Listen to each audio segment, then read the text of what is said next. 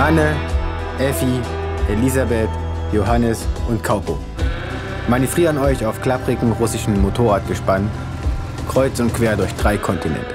Stets Richtung Osten. Und wenn alles klappt, bis nach New York City.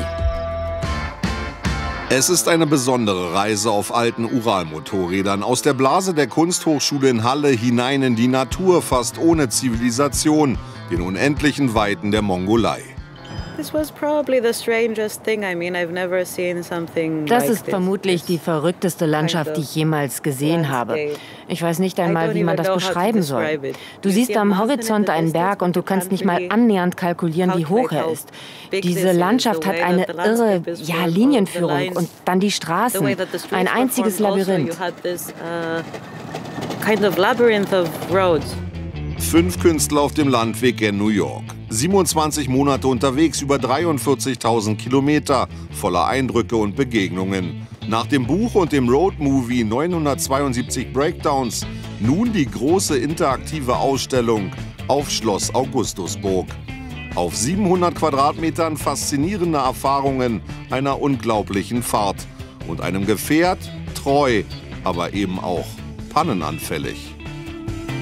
Das ist ein Explosionsmodell von unserem Motorrad das wir zweieinhalb Jahre lang gefahren bzw. Ja, geritten, gerepariert, geschoben haben. Und ich habe es auseinandergenommen. Seit mittlerweile zehn Jahren inklusive Planung beschäftigt die fünf Künstler dieser Trip.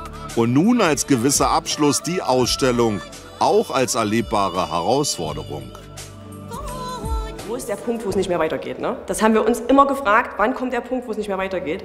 Der Besucher soll dasselbe sich fragen. Wo ist denn der Punkt, wo ich ausgestiegen wäre? Ne, wo wäre denn meine Grenze gewesen? Wo wäre ich über meine Grenze hinausgegangen? Ne?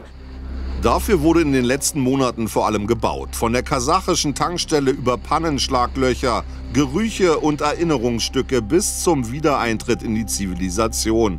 Eine eigene interaktive Reise ans Ende der Welt. Die Sachen wirklich jetzt plastisch darzustellen, war natürlich sauber, super cool.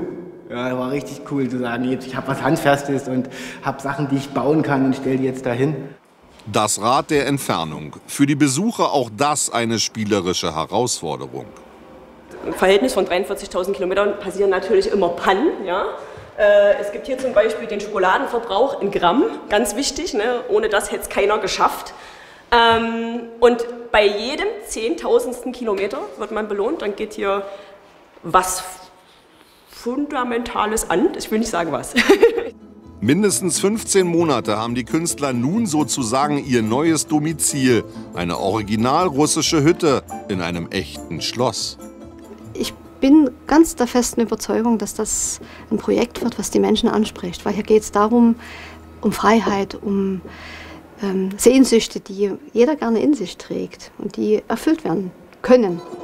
Ein weiteres Highlight, die 360 Grad Panoramashow.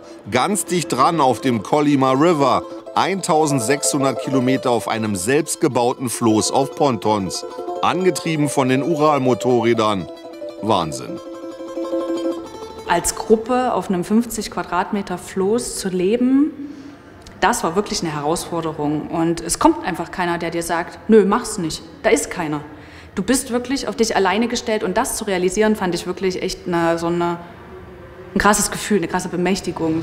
Bleibt die Frage, wie weit diese Reise noch gehen wird und ob die fünf Künstler sich nicht auch manchmal kneifen müssen, was sie damit alles erreicht haben. Ich glaube, von uns würde keiner diese Reise nochmal machen und das liegt daran, dass wir jetzt zu viel wissen darüber. Es kann eigentlich jederzeit losgehen, weil uns erschreckt keine Panne mehr im Endeffekt. Ab morgen können alle teilhaben an diesem unglaublichen Abenteuer mit den vielen Pannen. 972 Breakdowns auf Schloss Augustusburg.